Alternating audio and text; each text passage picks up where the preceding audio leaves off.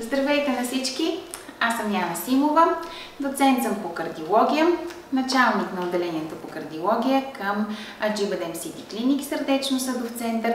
Моята страст е екокардиографията и затова бих искала тази вечер да поговоря с вас на тема ехокардиография и конкретно за оценка на а, диастолната функция на лява камера.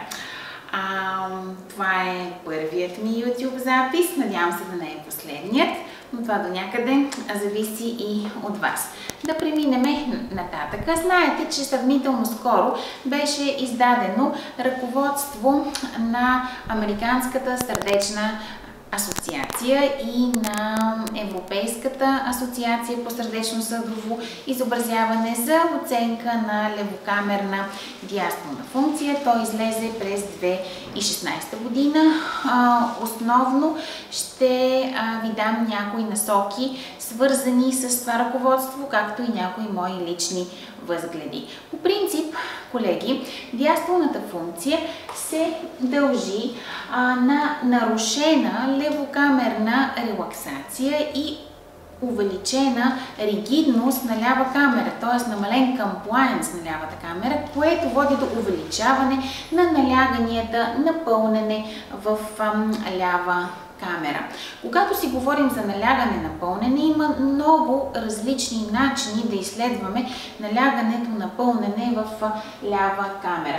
Това може да е средното пулмокапилярно налягане, може да е средното налягане в лявото предсърдие, може да е средното левокамерно диастолно налягане, левокамерното теледиастолно налягане или налягането преди А вълната в лява камера, преди предсърдната контракция. Но какво всъщност определя степента на релаксация на лява камера, а, отразена а, в а, тази малка цифра е прим. Тя всъщност е е а, многостранен процес. От една страна се дължи на, актив, на активни процеси, активната релаксация, което извършва, из, изисква свързването на актина с миозина. От втора страна действат едни възстановителни сили. Представете си лява камера като една пружина, която по време на систола се натяга и по време на диастола се разтяга. И това е така наречената възстановителна сила на лява камера. И на трето място Виждате, това е силата, с която лявото предсърдие напомпа допълнително кръв в лява камера и води до удължаване на обема на лява камера. Много е важно да имаме предвид, че преди да започнем да оценяваме диастолната функция на нашите пациенти, трябва да обърнем внимание на техните клинични данни, сърдечна частота, на тяхното артериално налягане, на основните 2D и Доплер находки по отношение на обемите на лява камера, дебелината на стената, фракция на изтласкване, обем на ляво предсърдие, наличие на клапни засягания, особено на митрално клапно засягане и също така, разбира се, е много важно да обърнем внимание и какъв е сърдечният ритъм. Друго много важно нещо – качеството на Доплер сигнала. А, моят съвет е не оценявайте диастолна функция, ако нямате качествен Доплер сигнал. Пример за качествен Доплер сигнал виждате горе в а, ваше а, ляво. А, така би трябвало да изглежда един добре записан Доплеров сигнал. Тук виждате, че пробният обем е сложен прекалено навътре в кухината на лява камера. Той отива в базалния сегмент на септома, а не на митралния клапен пръстен. Това не е правилна оценка на диастолната функция. Тук виждате прекалено нисък гейн, а тук прекалено високи филтри, което също не е правилен начин за оценка на диастолната функция на лява камера. Още други примери за а, Чести грешки при оценката на левокамерна систолна функция. Виждате в а, ваше горе дясно как а, курсора, как пробния обем е сложен вътре в кухината на лява камера. Това води до запис на едни сигнали, които се различават значително от тези, когато маркерът пак не е сложен правилно, но е частично извън кухината на лява камера. А в а, а ваше дясно виждате а, какви са ефектите върху стойностите на параметрите на пулсовия доплер, когато а, пробният обем е сложен в базалната част на латералната стена на лява камера или отива над митралния клапен пръстен и вече в стената на лявото предсърдие. Така че изключително важно е да се обръща внимание на качеството на доплеровия сигнал. И наистина, нямате ли качествен доплеров сигнал, по-добре не давайте оценка за диастолна функция, отколкото да направим нещо, което не сме сигурни дали е вярно или не е вярно. Друго важно, преди да започнем да оценяваме диастолната функция, е необходимостта да се разбере, че един параметр извън границите на нормата не означава задължително наличие на диастолна дисфункция. Затова винаги индексите на диастолна дисфункция а, трябва да а, се използват комплексно, а не изолирано. И трябва да се търси съгласуваност между два или повече параметъра.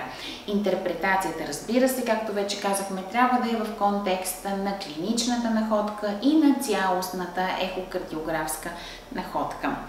Продължаваме с оценка на диастолната функция на лява камера при нормална фракция на изтласкване на лява камера.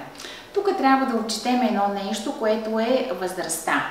По принцип, нормалното стареене е свързано с промени в сърцето и в съдовете, особено с забавяне на левокамерната релаксация, което може да доведе до диастолна дисфункция. Следователно, моделът на пълнене на лява камера при възрастни пациенти наподобява този при начало на леко степен на диастолна дисфункция при по-млади лица, тези на възраст от 40 до 60 години. Затова при оценка на диастолна функция винаги би следвало да се отчита възрастта на пациента.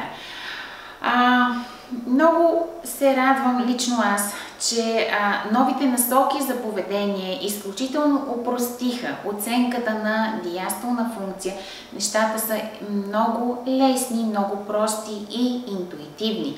За да оценим дали има или няма диастолна функция, са ни необходими само 4 показателя за диастолна функция. Това е септална Е' скорост да бъде под 7 см в секунда, латералната Е' скорост на митралния клапен пръстен да бъде под 10 см в секунда, средното съотношение Е към Е' да бъде над 14, индексирания обем на лявото предсърдие да бъде над 34 мл на метър квадратен. И максималната скорост на джета през трикоспидалната клапа да бъде над 2,8 метра в секунда. На базата на тези четири показателя ние можем да определиме каква е диастолната функция, дали е нормална или не е нормална. Ако повече от а, половината, ако повече от 50% от а, тези показатели са в границите на нормата, тогава може да кажем, че имаме нормална диастолна функция. Обратно, ако повече от 50% са извън границите на нормата, тогава можем със сигурност да кажем, че имаме диастолна дисфункция. Ако точно 2 на 2 или точно 50% са нормални, а останалите са в извън нормалните стойности, не можем да определиме точно диастолната функция. Схематично това, което показах на предния слайд, може да го видите на тази графика.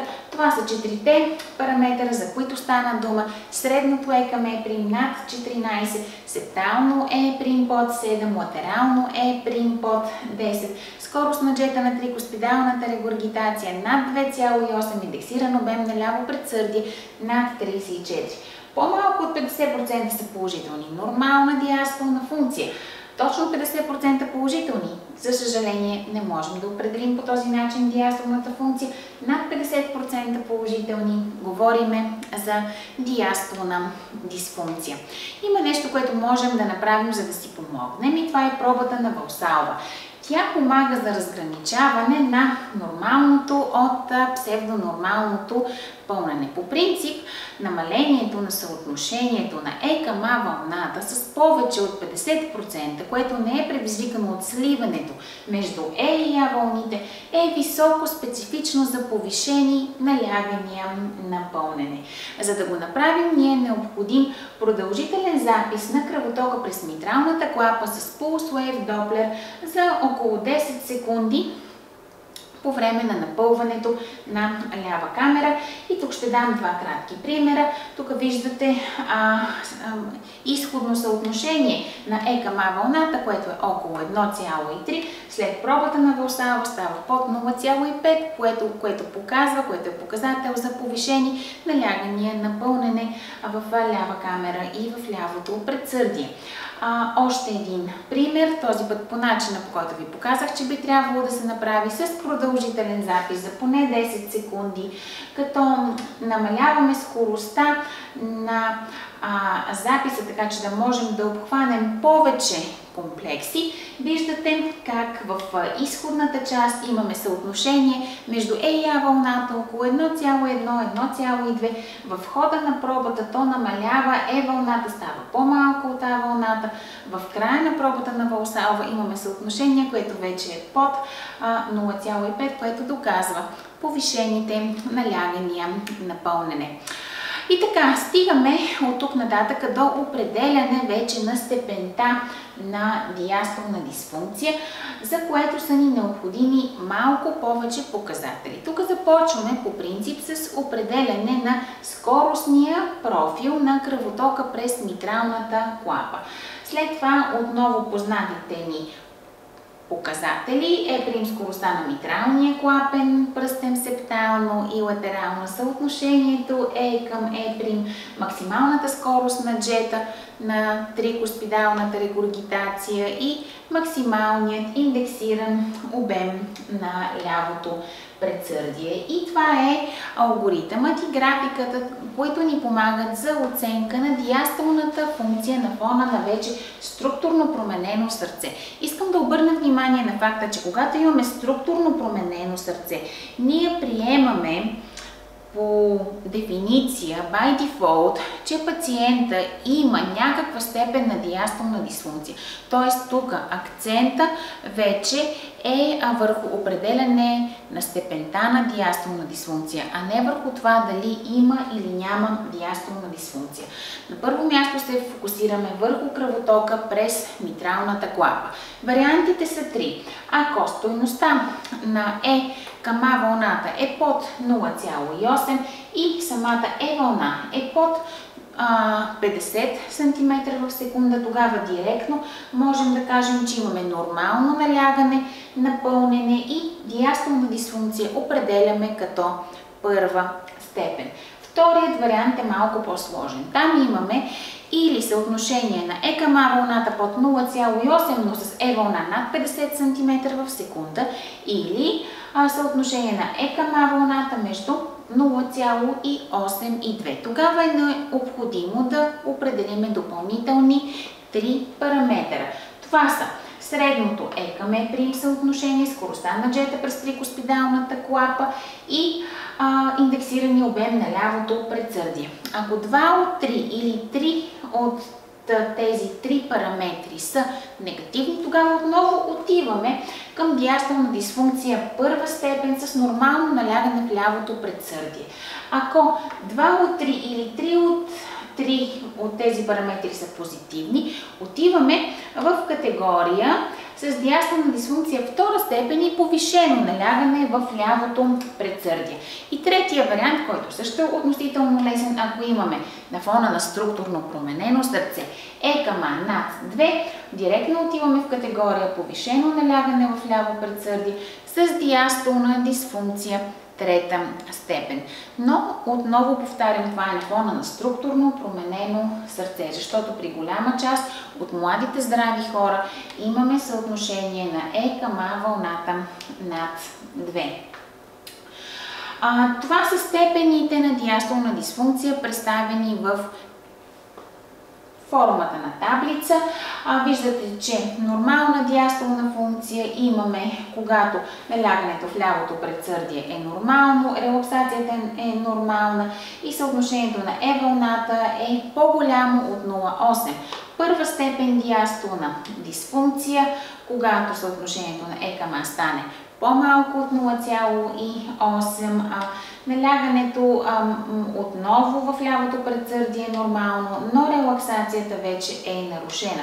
Втора степен на диастолна дисфункция, отново нарушена релаксация, но вече имаме и повишено налягане в лявото предсърдие. Съотношението между А е между 0,8 и 2 и имаме повишаване на скоростта на джета през трикоспидалната клапа, увеличаване на индексирания обем на лявото предсърдие. Трета степен, нарушена релаксация, повишено налягане, напълнене на лявото предсърдие, Е към А над 2, Е към Е прим над 14, скорост на джета над 2,8 и увеличен индекс на обем на лявото предсърдие. Така, сега а, бих искала да поговоря за оценка на диастолната функция при понижена фракция на изтласкване на а, лява камера което е един показател, който в някои случаи може да ни обегне. Тоест, установявайки пациент с понижена фракция на изтласкване на лява камера, някакси фокусът се измества от оценка на диастолната функция и се премества към оценка на систолната функция, което е нормално, но оценката на диастолната функция в тези случаи има също своето голямо и важно значение. По принцип, тези пациенти, които имат понижена фракция на изтласкване на лява камера, те а, както вече казах, by default имат нарушена диастолна функция и затова фокусът на оценка на диастолна функция в тази популация е различен. Ние не искаме да определим дали има или няма диастолна дисфункция. Знаем, че има диастолна дисфункция и основната цел е определене на левокамерните налягания на пълнене. Средното налягане в лявото предсърдие корелира по-добре с пулмокапилярното налягане в сравнение с теледиастолното налягане в лява камера и затова той е предпочитаният параметр за оценка.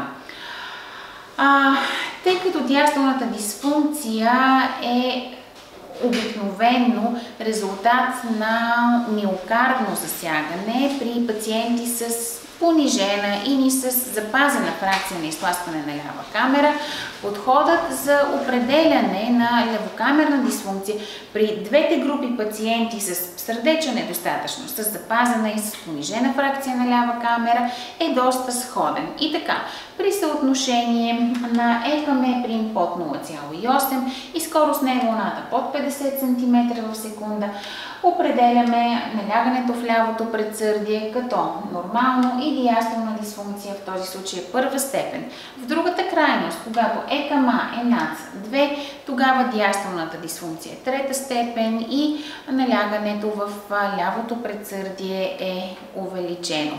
И отново стигаме до тази диаграма, която вече разгледахме и на която а, няма да се спирам подробно отново, но принципът е същият. Първо се определя кръвотока през митрална клапа.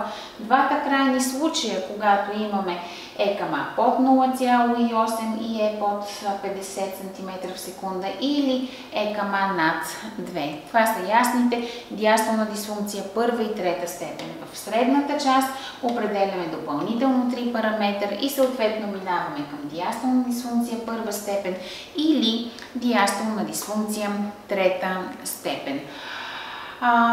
По принцип, много важно е във всяко едно ехокардиографско изследване да фигурира заключение относно левокамерната диастолна функция, особено за тези пациенти, които се оплакват от задух или имат поставена диагноза сърдечна недостатъчност. Това заключение трябва да включва коментар както за наляганията на пълнене на лява камера и на ляво предсърдие, така и за степента на дисфункция на лява камера. И ако е възможно, се препоръчва да се направи сравнение с предишни изследвания и да се коментират промените в диастолната функция. Тук бих искала да ви дам няколко примера за описание на диастолната функция. В този първи пример заключението включва компонент от всяка една от изброените три точки. Т.е. трябва да кажем дали а, имаме нормална или нарушена левокамерна релаксация. След това трябва да кажем дали наляганията на пълнене на лява камера са нормални, повишени или гранични. И трябва да кажем дали диастолната дисфункция е първа, втора или трета степен. Втория начин за описание на диастолната функция включва една от следните 6 опции. Нормална диастолна функция, нарушена левокамерна релаксация с нормално а, налягане в лявото предсърдие, нарушена релаксация с леко увеличено налягане в лявото предсърдие или с увеличено налягане в лявото предсърдие. Петия вариант е рестриктивно пълнене на лява камера с изразено увеличение на налягането в лявото предсърдие и за съжаление има един вариант с неопределена диастолна функция. И вариант 3, пример 3, една от четирите опции, това е по мое лично мнение варианта, който най-много ми допада и често аз използвам. Тук пациентите се категоризират последния начин. Такива с нормална диастолна функция, пациенти с диастолна дисфункция първа степен, което означава, че те имат нарушена релаксация с ниско или нормално налягане на пълнене. Следва диастолна дисфункция втора степен, където имаме умерено увеличено налягане на пълнене и диастолна дисфункция трета степен с изразено увеличение на налягането на пълнене. А, така, бих искала да завърша с а, м, така наречените take-home messages за вас, които обобщават всичко казано до тук. А, първото е, изследването на диастолна функция е опростено, може да се направи изключително лесно и си заслужава да бъде включвано при всяка ехокардиографска оценка. Защо? Защото основно а, трябва да изследваме 4 показателя за диастолна дисфункция. Това са септалните скорости на митралния клапен пръстен. Еприм под 7 см в секунда септално и еприм под 10 см в секунда латерално. Средното съотношение между екам еприм над 14, индексиран обем на ляво предсърдие над 34 и а, върхова скорост на джета през трикоспидалната клапа над 28 см в секунда. След това, ако имаме диастолна дисфункция, трябва да определиме каква е нейната степен по тази табличка, която подробно разгледахме с вас, където диастолната дисфункция при наличието й може да бъде степенувана като първа, втора или трета степен. И разбира се, след като сме оценили всичко това и сме си направили труда, трябва да го напишеме в нашето заключение. Това е всичко от мен за тази вечер. Много ви благодаря, че бяхте с мене. Ако имате някакви въпроси или коментари, на които бихте искали да получите отговор от мен, не се притеснявайте, можете да ги поснете в полето за коментари. Също така, ако имате някакви допълнителни предложения за теми, които бихте искали да чуете, аз съм отворена за всякакви такива предложения и ще ги очаквам с нетърпение от вас. Благодаря!